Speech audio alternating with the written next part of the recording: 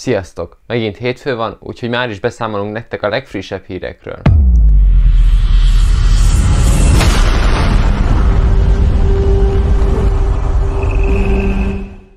Android 12 el a Xiaomi Pad 5-ön. Egy Webio felhasználó feltette az Android 12 L bétáját a Mi Pad 5-re.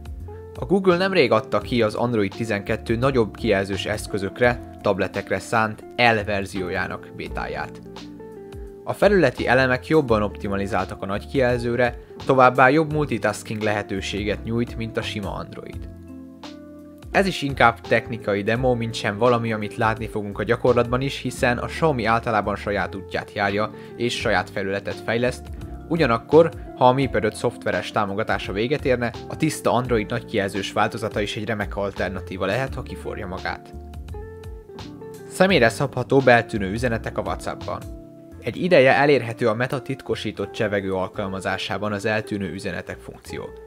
Most ez azzal bővül ki, hogy lehetőség van egy alapértelmezett időzítő beállítására, így minden újonnan megkezdett beszélgetésre alkalmazza majd ezt a beállítást a program. 24 óra 7 nap, illetve 90 nap közül van lehetőségünk választani.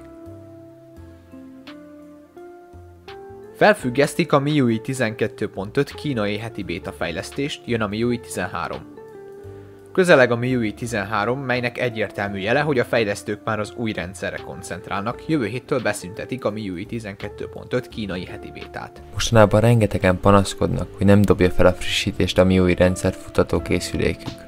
Mai napig nincs egyértelmű magyarázat a jelenségre, viszont bemutatjuk nektek azt a metódust, amelyen manuálisan le tudjátok ellenőrizni, hogy van-e elérhető frissebb verzió, és ha van, hogyan tudjátok azt telepíteni. A leírásban található linken keresztül megtaláljátok a részletes cikket, ahol lépésről lépésre leírjuk, hogy hogyan tudjátok megoldani ezt a problémát. Kiszivárgott a Xiaomi 12, a 12 Pro és a 12 Ultra tokja is. Előbbi kettő tokja nagyon hasonlít egymásra, csak apró különbségek vehetőek észre. Mindkettő három kamerajuk található, viszont az alapmodellen a dupla LED villanók kivágása vékonyabb.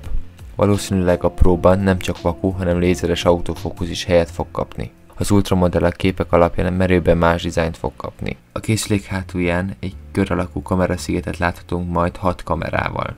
Ennek az egységnek részét fogja képezni nagy valószínűséggel egy 108 megapixeles Samsung szenzor, egy 50 megapixeles kamera, valamint egy teleszkópos zoom, egy ultraszéles, egy makro és egy mélységérzékelő is. Ami biztosan elmondható, hogy az SoC egy Snapdragon 8 Gen 1 chip lesz. Plegykák szerint 6,67 hüvelykes 120 Hz-es HDR10 Plus támogatottsága rendelkező AMOLED panel lesz a készülékben.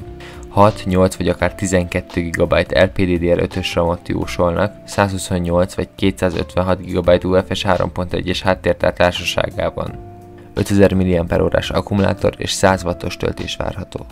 Megjelent Kínában a Xiaomi 11 Lite Vitality Edition. Annyira megtetszett a kínaiaknak a globális Xiaomi 11 Lite 5 g hogy kiadták a cég anyaországában az említett néven újra. Itt teljesen felesleges bemutatni a készüléket, felolvasni a specifikációt. Legfontosabb hozadéka ennek a lépésnek, hogy lesz a Xiaomi.eu-n custom ROM, és nem kell majd az 5 g tulajoknak a globál rommal bajlódniuk. Köszi szépen, hogy megnézted a videót. Amennyiben tetszett, kérlek nyomj egy lájkot, és ha még szeretnél hasonló tartalmakat látni, akkor pedig ne felejts el feliratkozni. Kövess minket Facebookon és Instagramon is, hiszen ott is rengeteg friss hírrel látunk el titeket. Következő videóig vigyázzatok magatokra, addig is, sziasztok!